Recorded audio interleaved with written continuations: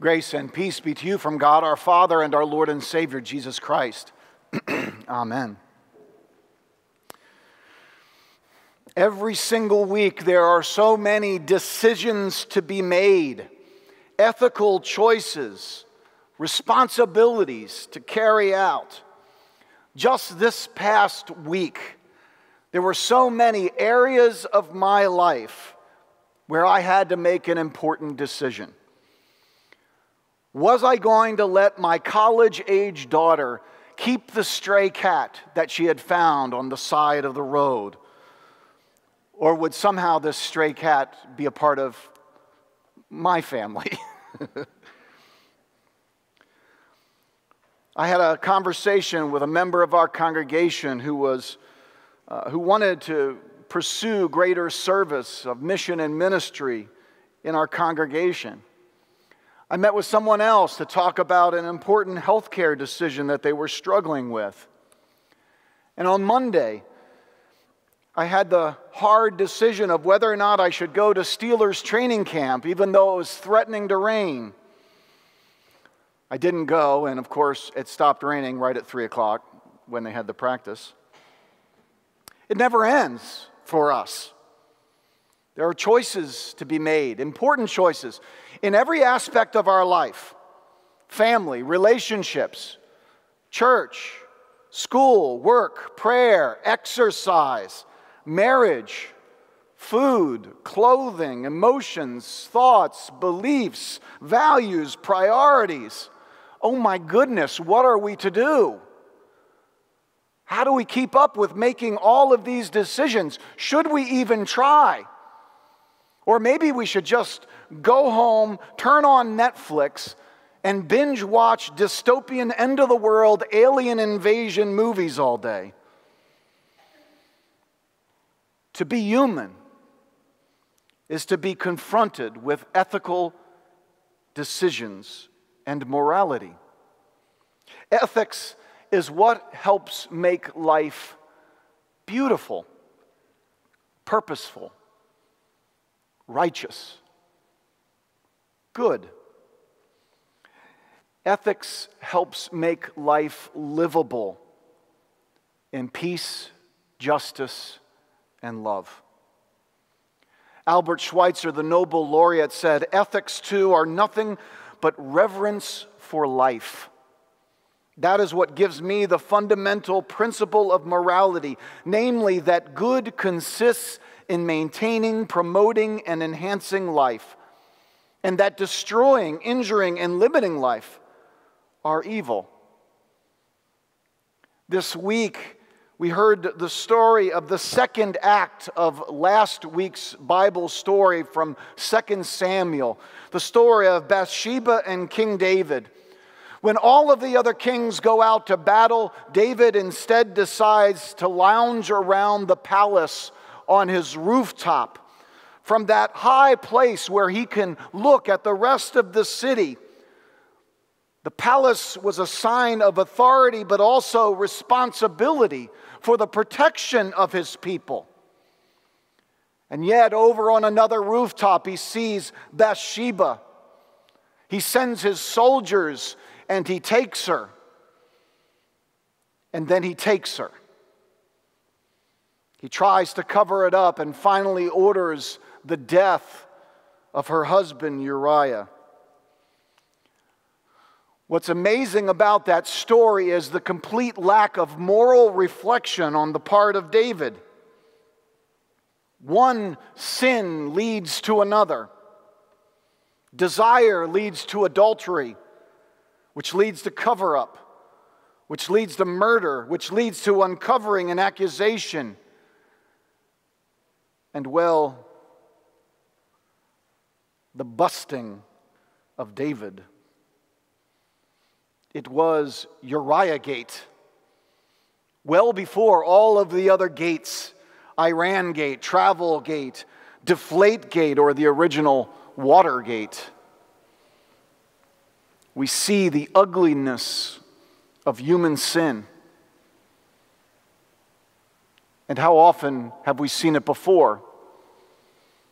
In kings or elected officials, or sports figures, or movie stars, or producers, even in pastors and priests and other good Christian people. David did it in the words of a former president because he could. Or in the words of Walt Disney's young philosopher, poet king Simba of the Lion King Oh, I just can't wait to be king. No one saying, do this. No one saying, be there. No one saying, stop that. No one saying, see here. Free to run around all day. Free to do it my way. That sounds like King David. It sounds like us. David has let betrayal and violence loose in his household and family, and in Uriah's family as well. And like so many sins, when you let them loose, you may not be able to put them back into their cage. The thing that David had done displeased the Lord.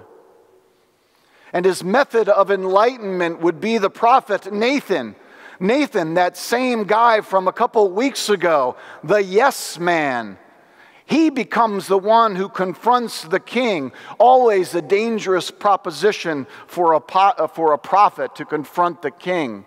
You could lose your life over that after all. But Nathan does it in a way that offers a learning moment for David.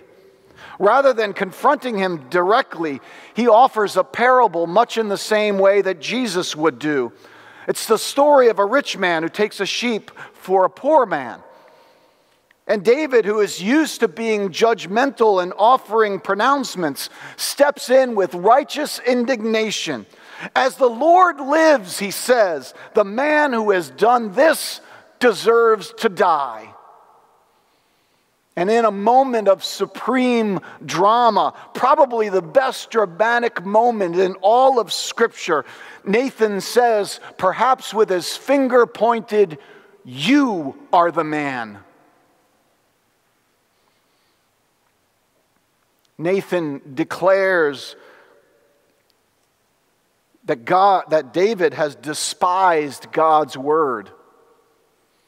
If you think about it, he probably broke at least four of the Ten Commandments coveting, stealing, adultery, murder, just to start with. And in the Old Testament, the Torah, the law of the Bible, has very high expectations and restraints on the king. And David, by his actions, has undermined his moral authority. He is nothing less than a hypocrite and his crimes deserve death. But God loved David, even as he hated what he had done. And God does not turn a blind eye to our sins. Sometimes people want to say that it doesn't really matter after all. God doesn't really care what we do.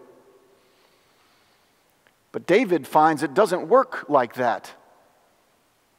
God does care about him. And because he loves him, God judges him and lets him know it. Like a parent who feels betrayed at a child's behavior, God launches into, after everything that I have done for you, why, David, why? How do you respond when confronted with your sins? Do you make excuses? Well, I didn't mean to. Or place blame? Well, society's been so hard on me. Or just ignore it? Well, I don't care. Or perhaps argue. It wasn't me. Or do you acknowledge it? I have sinned against the Lord. That's what David does. Ethical behavior begins with self reflection, looking into your own soul and your own actions and thoughts, learning and growing from what you have done, both good and evil. Reflection leads to discernment, which leads to deliberation, thought to action. And when we do that, it helps shape our life, not just what is the next thing that we're going to do to an Israelite way of thinking in the Old Testament, confession means facing and acknowledging the facts. I have sinned against the Lord. And there is no such thing as personal sin. Sin touches everyone. When a CEO gets too greedy, our whole economy goes into recession. When a husband or wife commit adultery, it destroys two families. When a drunk driver goes out on the, on the road, lives can be destroyed. And when people buy drugs in America, children die in a shootout in the streets of Mexico. How many examples can you think of? We are in relationship with each other connected like a web. Each movement sends a wave through the system. And we are human beings in a relationship with a loving and demanding God of the Bible. We cannot be Christians on Sunday and then non Christians the rest of the week. What you think, what you say, how you act to your brother and sister in Christ and to the people around the world matters. It matters to God and it matters to them. And if left to ourselves, our human nature with unrestrained desire and lust for power, the world, our lives, would be an unmitigated mess. But God won't put up with it. And we see through history the fall of those who try to get away with it. Sins have consequences, as David experienced firsthand. But God also has mercy on David and on us because that's God's nature. May we turn from our sin and live. Amen. In the name of the Father, and of the Son, and of the Holy Spirit. Amen.